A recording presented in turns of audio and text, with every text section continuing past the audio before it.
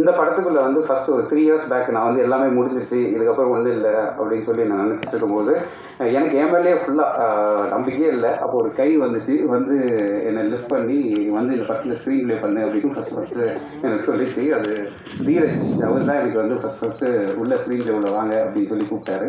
அதுக்கப்புறம் ஒரு three years ட்ராவலில் இங்கே கூப்பிட்டு வந்து நிப்பாட்டி வச்சுட்டாரு இது வந்து அதான் த்ரீ டூ தௌசண்ட் டுவெண்ட்டி ஒனில் ஒரு மிஸ்கின் சார் த்ரீ இயர்ஸாக நம்ம வந்து ஸ்க்ரீன் ப்ளே இந்த படம் ஸ்டெப் பை ஸ்டெப் பண்ணி இப்போ தான் ஃபைனலாக ரெடியாக இருக்குது இது இவ்வளோ நேரம் நீங்கள் அந்த வீடியோஸ்லாம் பார்த்துருப்பீங்க. அந்த வீடியோஸில் நம்ம என்ன தான் லைக் இன்னோ ஒரு பிஎம்டபிள்யூ வாங்கியிருக்கோம் ஆடி வாங்கியிருக்கோம் இதெல்லாம் சொன்னாங்களோ அந்த வண்டி ஓடணுன்னா ஃபியூல் வேணும். ஐசி ஃபியூல் வந்து எல்லாம் ப்ரெஸ் அண்ட் மீடியா தான். நீங்கள் வந்து இதை எந்த மாதிரி இதை ஆடியன்ஸ்க்கு எடுத்துகிட்டு போய் சேர்க்குறீங்களோ அப்போ தான் தேட்டருக்கும் ஆடியன்ஸ் வருவாங்கன்றது ஒரு நம்பிக்கை என்னோட நம்பிக்கை. அதனால் நீங்கள் ப்ளீஸ் சப்போர்ட் பண்ணுங்கள் இந்த ப்ராஜெக்ட்டுக்கு அதே மாதிரி ஆஃப்ளிக்கில் இருக்கிற இந்த டீம் என்டையர் டீம் ஃபஸ்ட்டு வந்து எக்ஸிக்யூட்டிவ் ப்ரொடியூசர் நீங்கள் இதிலே பார்த்தீங்க சேதுன்னு சொல்லிட்டு அவர்கிட்ட இருந்தால் ஃபஸ்ட்டு நம்ம பட்ஜெட் பண்ணி இது என்ன மாதிரி பண்ணலாம் அப்படின்லாம் ஃபுல்லாக நீங்கள் விஷுவலாகவே பார்த்துட்டீங்க ஸோ அந்த மாதிரி அவர் ஃபுல்லாக பிளான் பண்ணி இன்னி வரைக்கும் அவர் மோஸ்ட்லி கொஞ்சம் சம்டைம்ஸ் வந்து ஸ்பாட்டுக்கும் வர முடியாமல் போகிறதுக்கான பாசிபிலிட்டியும் இருந்துச்சு. பட் இன்னி வரைக்கும் ஃபுல்லாக பட்ஜெட்டில் என் கூட ஹெல்ப் பண்ணி எனக்கு கண்ட்ரோலாக எல்லாமே பண்ணி கொடுத்து இந்த ப்ராஜெக்டை முடிச்சு கொடுத்தாரு. அண்ட் அதுக்கப்புறம் இந்த படத்தோட மேனேஜர் செல்லதுரைன்னு சொல்லிட்டு அவர் வந்து தனியாக ஒரே ஆளாக இருந்து one man one man army மாதிரி இருந்து ஃபுல்லாக எனக்கு சப்போர்ட்டாக இருந்தார். அண்டு டேரக்டர் uh, வந்து ரொம்ப நீங்கள் அவர் எந்த அளவுக்கு வந்து ஒரு ஃபன்னியான பர்சன்ன்றது உங்களுக்கு அந்த வீடியோ பார்க்கும்போதே தெரிஞ்சிருக்கும். இந்த மாதிரி தான் எங்களோட நாங்கள் ஒரு டீம் நானும் எடிட்டர் அப்புறம் டைரக்டர் இந்த ப்ராசஸில் எதுவாக இருந்தாலுமே நீங்கள் ஒரு போஸ்டர் வெளியில் பார்த்தாலுமே இல்லை ஒரு டீசர் எது பார்த்தாலுமே இந்த மூணு பேரோட அப்ரூவலில் தான் வெளியில் வந்திருக்கும். இது நாங்கள் டிஸ்கஸ் பண்ணிகிட்டே இருக்கும்போது எனக்கு சின்னதாக ஒரு தோணுன விஷயம் என்னென்னா இது எங்கள் வீட்லேயும் சரி எங்கள் ஃப்ரெண்ட்ஸ் வீட்லேயும் சரி இது எப்பயுமே நடக்கிறது தான் இது. என்னென்னா இப்போ நம்ம பசங்க சின்ன சின்ன பசங்க வந்து இப்போது இது கார்ட்டூன்ஸ் ஏதாவது பார்த்துட்டு இருக்காங்க அப்படின்னா அது வந்து ஒரு இங்கிலீஷ் கார்ட்டூன் அந்த மாதிரி ஏதாவது இங்கிலீஷ் கார்ட்டூனாக இருந்தால் கூட அது என்ன கண்டென்ட் கூட உள்ள நம்ம பார்க்குறது இல்லை அது இங்கிலீஷ் கார்ட்டூனானா நம்ம க கம்னு இருப்போம். அதுவே திடீர்னு ஏதாவது கார்ட்டூன் வந்து தமிழில் ஓடுச்சுன்னா இமீடியட்டாக சேனலை மாற்ற சொல்கிறோம் ஸோ அந்த மாதிரி விஷயத்தெல்லாம் இந்த படம் பிரேக் பண்ணுறோம் பிரேக் பண்ணிடும்னு நான் பிலீவ் பண்ணுறேன் ஸ்ட்ராங்காக அந்த மாதிரி நம்ம கார்ட்டூனும் தமிழில் பண்ணி இன்னும் நிறைய இடத்துக்கு ரீச் ஆகணுன்றது இது சின்ன ஸ்டார்ட் இந்த மாதிரி படத்தை சப்போர்ட் பண்ணுங்கள் அண்ட் நாங்களும் இந்த மாதிரி இன்னோவேட்டிவான ஐடியாஸ் அண்ட் ஃப்ரெஷ் ஐடியாஸும் நாங்கள் சப்போர்ட் பண்ணுறோம் அவ்வளோதான் thank you so much present media friends எல்லாருக்கும் வணக்கம். இது என்னோட முதல் படம். நான் அசிஸ்டண்ட்டாக ஒர்க் பண்ணும்போது அங்கே நின்று ஸ்டேஜ் பார்த்துருக்கேன். இப்போது இங்கே ஒர்க் பண்ணும்போது ரொம்ப சந்தோஷமாக இருக்குது டபுள் டக்கர் அப்படின்னா லைக் இது ஒரு அனிமேஷன் மூவி முழுக்க முழுக்க ஒரு எம்டி பிளேட்ஸில் தான் எனக்கு ஷார்ட்ஸே வரும். அது வந்து ரொம்ப சேலஞ்சிங்காக இருக்கும். சேலஞ்சிங்னு எல்லாரும் சொல்கிறது தான் பட் இதில் நாங்கள் நீங்கள் ரெக்கக்னைஸ் பண்ணுவீங்கன்னு நான் நம்புகிறேன் and then thank you thank sir thank you Chandra sir thank you director and special thanks to entire media peoples thank you thank you எல்லாருக்கும் வணக்கம். இன்னைக்கு டபுள் டக்கர் படத்தோட ப்ரெஸ் மீட்டில் அவங்க எல்லாரும் சந்திக்கிறதுல எனக்கு ரொம்ப சந்தோஷமாக இருக்குது முதலாவதாக Mysskin sir thank you so much for coming it's a great honour நீங்கள் வந்து எங்களை சப்போர்ட் பண்ணுறது எங்களுக்கு ரொம்ப ரொம்ப ரொம்ப மகிழ்ச்சி. அண்ட் um, எனக்கு I I I'm very grateful for this opportunity I I would like to thank my entire team starting with our producer sir Chandru sir ரொம்ப கூலாக காமாக கம்போஸ்டாக இருப்பார். இந்த மாதிரி ஒரு கம்போஸ்டான ப்ரொடியூசர் நான் பார்த்ததே இல்லை. அப்படியே அதுக்கு அப்படியே கான்ட்ராஸ்ட் கேரக்டர் நம்ம hero Dheeraj sir very very vibrant person அவர் செட்டுக்கு வந்தாலே என்டையர் செட்டை சேர் பண்ணி ரொம்ப ரொம்ப எனர்ஜெட்டிக்காக இருக்கும். அண்ட் டேரக்டரை பற்றி நான் சொல்லணும்னு நினச்சேன் பட் நீங்கள் எல்லாருமே இந்த வீடியோவில் பார்த்துருப்பீங்க. எவ்வளோ கூலான பர்சன் ஒரு நாள் கூட அவர் டென்ஷன் ஆகி நான் பார்த்ததே இல்லை. Very very jolly person and full மூவியை ரொம்ப ஒரு ஹாப்பியாக நல்ல ஒரு வைபோடு கொண்டு போனார். அண்ட் கௌதம் எங்கள் சினிமாட்டோகிராஃபர் வாஸ் வெரி ரொம்ப நல்லா he's done his work and எனக்கு அப்பப்போ நிறைய சஜஷன்ஸ் கொடுத்து his help me throughout the movie and Kovai சர்லாம் அந்த மாதிரி பெரிய ஆர்டிஸ்டோட அந்த மூவியில் நடிக்கிறத ரொம்ப ரொம்ப பெருமைப்பட்டிருக்கேன். அண்ட் uh, வித்யாசாகர் சாரோட மியூசிக்கோட மேஜர் ஃபேன்னா சின்ன வயசுலேருந்து அவர் பாட்டு கேட்டு வந்திருக்கேன் அண்ட் அவர் அவர் மியூசிக் டைரக்ட் பண்ணுற பாட்டில் நான் நடிக்கிறேன்றது எனக்கு ரொம்ப பெருமையாக இருக்குது so thank you so much for this opportunity and நீங்கள் டீசர் பார்த்தாலே தெரிஞ்சிருக்கும். உங்களுக்கு இது ஒரு ஃபேமிலி என்டர்டெய்னர் அண்ட் எல்லா கிட்ஸுக்கும் இந்த மூவி ரொம்ப பிடிக்கும். ஸோ கண்டிப்பாக அவங்களோட சப்போர்ட் எங்களுக்கு தேவை thank you and Nikhil sir thank you so much for organising this thank you sir media பீப்புளுக்கு வணக்கம். இந்த ஸ்டேஜில் நான் இங்கே நிற்கிறதுக்கு பன்னெண்டு வருஷம் உழைப்பு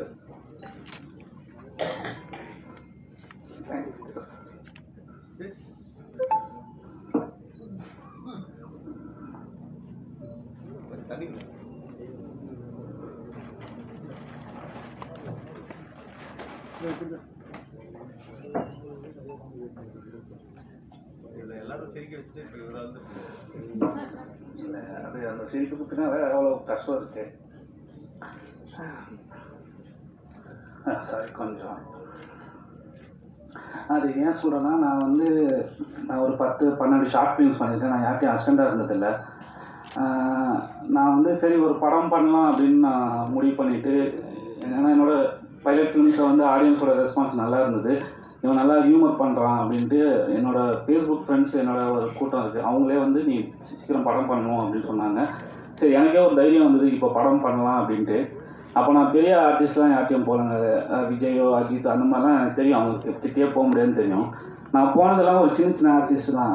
ரொம்ப இப்போது மார்க்கெட் லெவலில் ஒரு மூணு கோடி நாலு கோடி உள்ள ஒரு சின்ன சின்ன ஆக்டருங்க கிட்ட தான் கதை சொல்லலாம் அப்படின்னு போனேன். அவன் என்ன ஒரு நார்மலாக ஒரு ம மனுஷன் கொடுக்குற மரியாதை கூட கொடுக்கல. மேனேஜர்ஸ்லாம் அவங்க ஃபோன் எடுத்தாலே ரொம்ப ஒரு மாதிரி பேசுகிறாங்க நான் கேட்டதெல்லாம் ஒரு அஞ்சு நிமிஷம் தான். என் என் கதையை கேளுங்க அப்படின்னு. யாருமே கொடுக்கல. தேவ சார் தான்.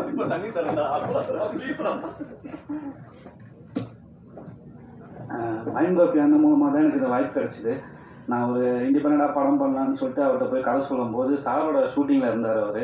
அவர்கிட்ட நான் போய் சொல்லும்போது சார் இன்ட்ரடியூஸ் பண்ணி வச்சார். சார் என் பேரை கூட கேட்கல.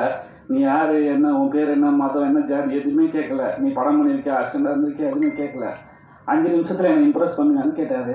சார் நான் அஞ்சு நிமிஷத்துக்காக இத்தனை வருஷம் வெயிட் பண்ணுறேன் சார். யாருமே மதிக்கல. சார் அஞ்சு நிமிஷம் கொடுத்தாரு. கதை சொல்ல ஆரம்பித்தேன் நான் சொல்லி முடிக்கும் போது ஒன் ஹவர் ஆயிடுச்சு. சார் ஷூட்டிங் அப்படியே நிறுத்திட்டு என்கிட்ட கதை கேட்டார். அது நான் சொல்லும்போது ஒரு சின்ன படமாக தான் எடுத்துகிட்டு வந்தேன்.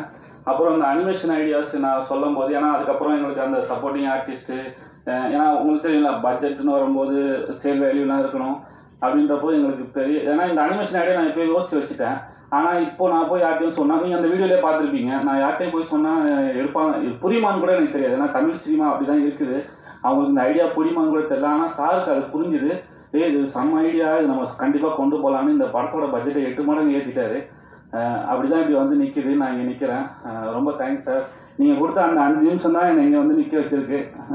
ரொம்ப தேங்க்ஸ் அப்புறம் மிஸ்கின் சார் நான் இதை வந்து நான் என்னோடய ஃபஸ்ட்டு மேடையில் நீங்கள் இருக்கிறீங்க என்னோட இன்ஸ்பிரேஷன் ரொம்ப சந்தோஷமாக இருக்குது sir present media people thank you நான் நிறையா நான் எல்லாமே சொல்லிட்டேன். அந்த வீடியோலேயே சொல்லிட்டேன். நான் இதை தான் சொல்லணும்னு நினச்சேன். இன்னும் நான் அடுத்தடுத்த மேடையில் இன்னும் நிறைய விஷயங்கள் சொல்கிறேன் ரொம்ப தேங்க்ஸ் என் டீமுக்கு ஏன்னா என் டீமை பற்றி நான் பேசணுன்னா எங்கள் ஆஃபீஸில் இருக்கிற ஆயாலேருந்து நான் சிஜி போகும்போது அங்கே டீ குடிக்கிற பார்ட்டி வரைக்கும் நான் எல்லாருக்குமே தேங்க்ஸ் சொல்லணும். அவ்வளோ ஒர்க் பண்ணியிருக்காங்க எல்லாருமே. ரொம்ப தேங்க்ஸ் பிரசன்ட் மீடியா இந்த படத்தை நல்லா எழுதுங்க நல்லபடியாக கொண்டு போங்க. இந்த மாதிரி சின்ன சின்ன டேரக்டருங்க அப்கமிங் டேரக்டருங்களுக்கு உங்களோட சப்போர்ட் ரொம்ப தேவை. நீங்கள் எழுதுகிற நல்ல விஷயங்கள் இதை பாருங்கன்னு சொன்னீங்கன்னா அது மக்கள் பார்ப்பாங்க. நீங்கள் சொன்னாதான் கேட்பாங்க நாங்கள் எவ்வளோ சொன்னாலும் கேட்க மாட்டாங்க. ஸோ நல்லபடியாக எழுதுங்க இந்த படம் நல்லபடியாக வரணும். தேங்க்ஸ் ரொம்ப நாளைக்கு அப்புறம் நிக்கல பார்க்குறேன். தாடி நிறைய வளர்ந்துருக்கு. காதல் தோல்வி போல. புரிஞ்சது பழனியா சார். வணக்கம் சார்.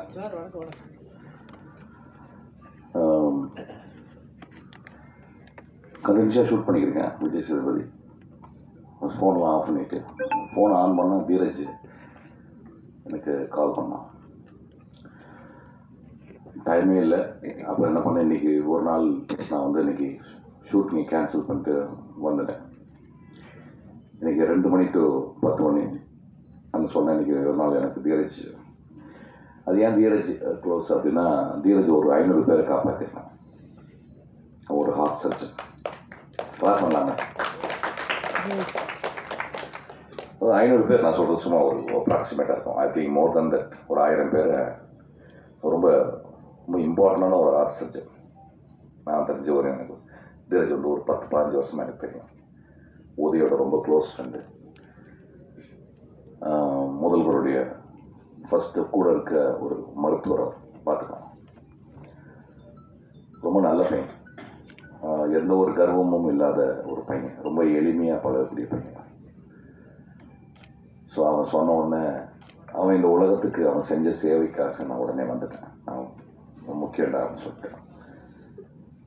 அவன் கஷ்டப்பட்டுக்கிட்டே இருக்கான். அவனுக்கு வந்து ஒரு டாக்டரா is is reach is apex is reach is நக்கல் ஒரு டாக்டராக இருந்தால் கூட ஏதோ லைஃப்பில் நான் ஆர்ட்டில் நான் வந்து சாதிக்கணும்னு எப்பயுமே நினச்சிக்கிட்டு இருக்கேன்.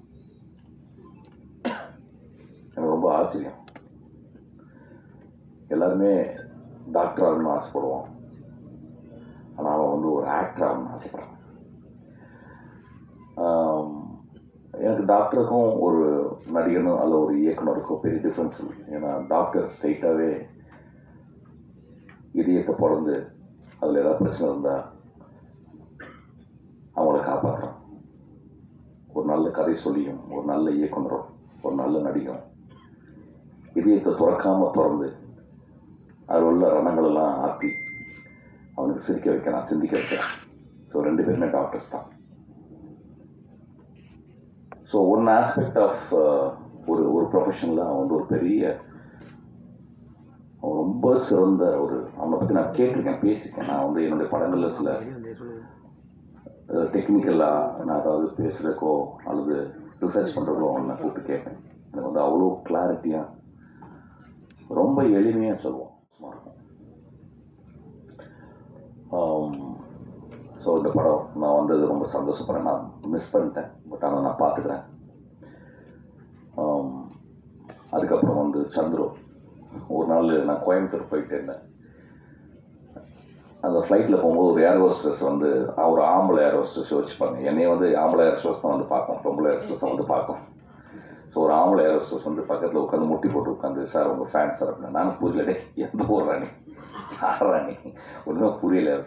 அப்படி இல்லை சார் எனக்கு ரொம்ப படம் பிடிக்கும் சார் அப்படின்னா பேர் என்ன? சந்தர் வச்சேன் உடனே என் நம்பர் கொடுக்குறீங்களா சார்? நான் கொடுத்தேன் ஆக்சுவலாக அது கொடுத்து நோட் பண்ணிவிட்டு ஒரு ரெண்டு மாதம் கழிச்சு நான் அவளை வந்து பார்க்க வரலாமா சார்? நான் பார்க்க வரலாம் வந்து உட்காந்து சினிமாவை பற்றி பேசிக்கிட்டு இருக்கோம்.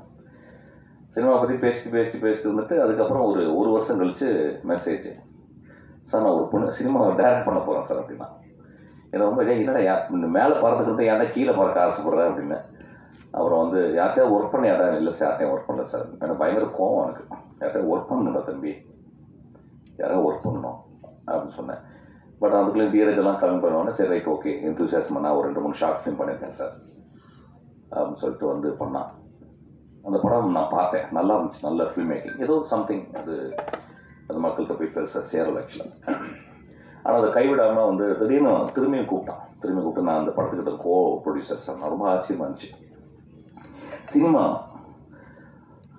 உ- உயர பறந்தா கூட அவங்கள இழுக்குது அப்படி இழுத்தேவா ஒரு பிளாக் ஹோல் தான் cinema. Not even even light cannot escape அந்த அளவு ஒரு பெரிய கிராவிடேஷனல் புல்லோட சினிமா இழுத்துக்கிட்டே இருக்கு. ரொம்ப நல்ல பையன். எனக்கு பிடிச்சிருந்துச்சு அவன் வந்து நான் வந்து I I don't give up sir but I will be I will be inside the cinema I will be doing cinema அப்படின்னு சொன்ன எனக்கு அந்த அந்த கன்விக்ஷன் ரொம்ப பிடிச்சது.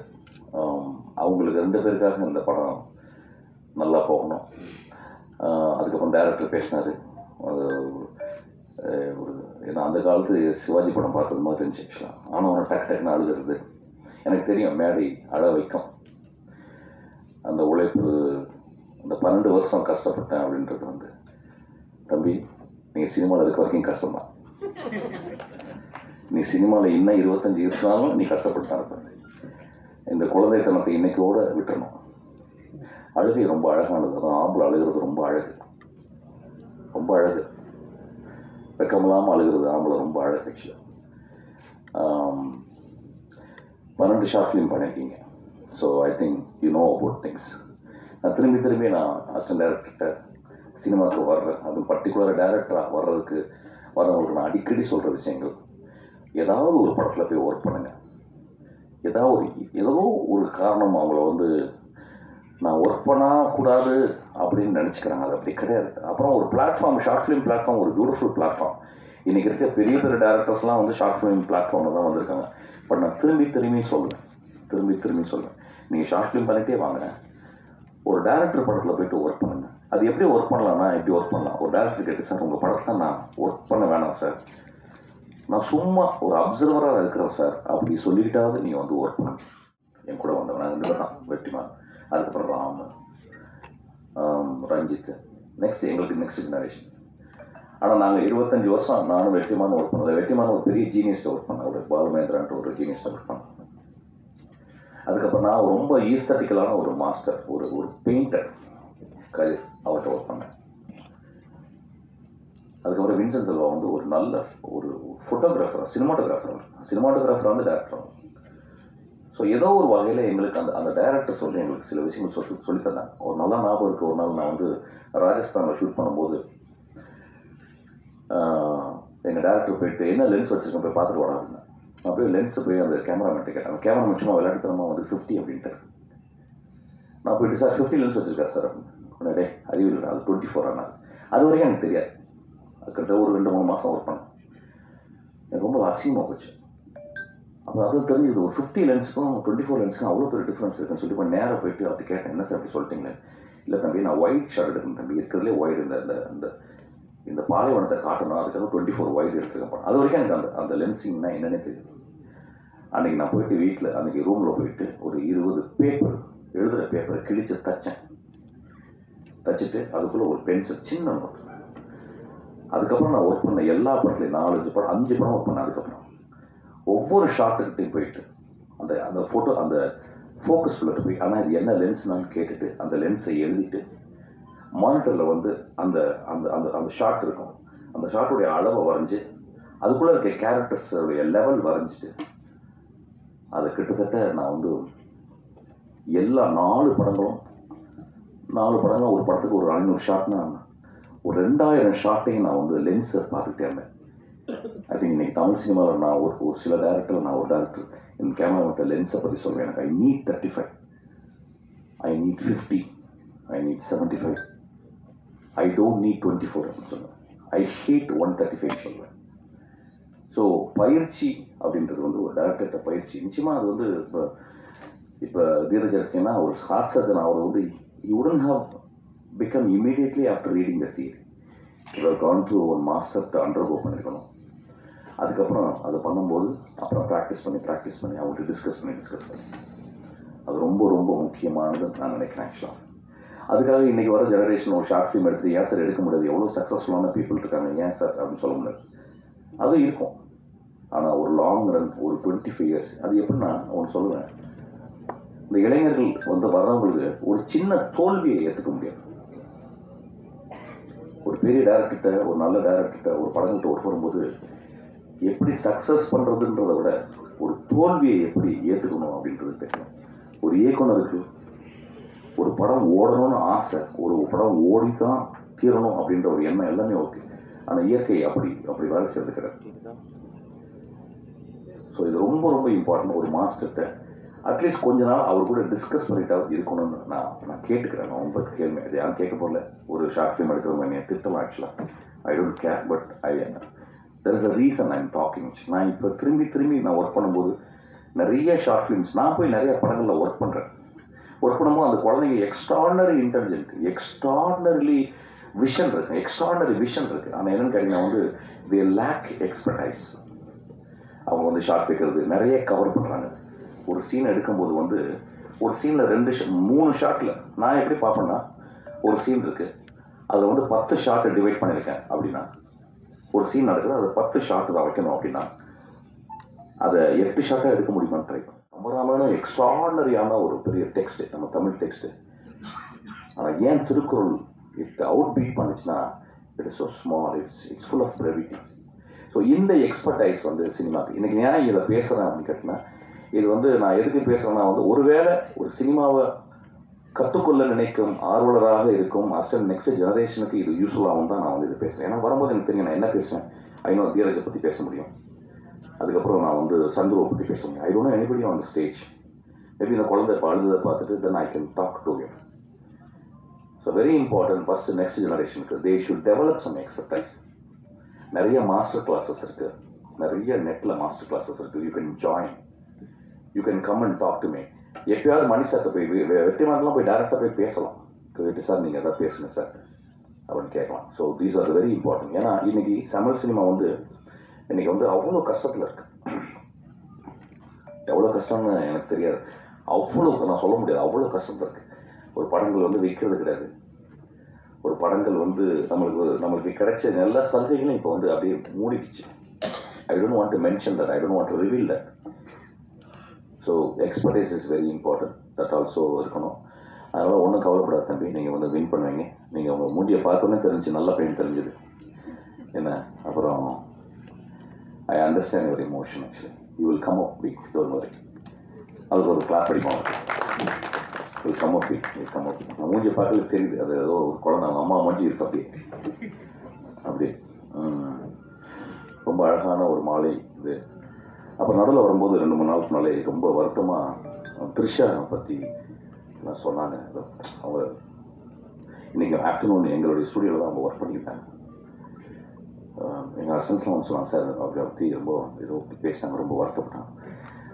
நண்பர்களே ஒரு நடிகை அவங்க வந்து அவங்க புரிஞ்சுக்கணும். இந்த நாடு நம்மலாம் சாவித்திரி அம்மாக்கும் மனோகர் அம்மாக்கும் கேஆர் விஜயா சரோஜதேவி இவங்கெல்லாம் பார்த்து வளர்ந்தவங்க நம்மலாம் எங்கள் அம்மா அப்பாலாம் சொல்லும்போது வந்து எங்களுக்கு வந்து எக்ஸாம்பிள் எப்படி தரமாக இருக்கும்? ஆடி பெருக்கில் ஒரு பெண் தன் காதலை எவ்வளவு தியாகம் செய்கிறாள் அப்படின்ற கேரக்டர் எனக்கு வந்து சரோஜதேவி சவுகாஜன் இவங்கெல்லாம் எனக்கு எங்கள் அம்மா பெரிய மாற்றம் என்னுடைய தாயாருடைய தாய்கள். ஒரு நடிகையை பற்றி அவ்வளோ ஈஸியாக பேசுகிறாங்க அவங்களும் ப்ரொஃபஷனல்ஸ் தேர் குட் பீப்புள் நான் ரெண்டு தடவை தான் நான் த்ரிஷாவை பார்த்துருக்கேன். அவ்வளோ எளிமையான பொண்ணு அவ்வளோ மேன்மையாக பேசுவாங்க நான் ரொம்ப மனசு வருத்தப்பட்டேன் ஆக்சுவலாக ஒரு நடிகையை பற்றி பேசுகிறாங்க ஒரு நடிகரை பற்றி தெரியும் எனக்கு நியூஸ் வேணும். நியூஸ் சென்சேஷனான நியூஸ் வேணும். நம்ம நியூஸ் போட்டு தான் ஆகணும். அதுக்காக நீங்கள் அதற்கும் மேல் நடிகைக்கு மேல் அவர் ஒரு தாய் ஐயா ஒரு பெண் ஐயா ஒரு பெண்ணை பற்றி தவறாக பேசாதீங்க. நான் யார் பேசினா எப்படி பேசினாங்க யார் போட்டாங்கன்றது கேள்வி கேட்கல. முதல்ல நம்ம பார்க்க வேண்டியது ஒரு பெண்ணை பற்றி நம்ம வீட்டில் இருக்க ஒரு பெண்ணை பற்றி பேச விடுவோமா?